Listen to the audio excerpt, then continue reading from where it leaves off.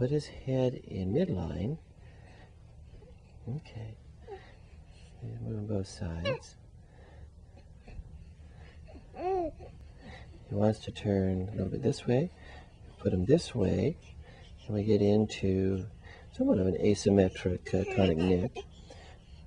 We can see this hand extended and this leg extended and the other side flexed. But he can overcome that. He's not obligate. Over this way. Turn your head this way. And again, we should see he doesn't like that that much. This hand extend and this foot extend, and this side flex over here. Okay, that's an asymmetric tonic neck. Coming back over here again, and oftentimes we'll see the side where the head is turned towards an extension as far as the leg and the hand, and the other side in flexion, but he doesn't get stuck in that, and, and he shouldn't be. He should be able to get out of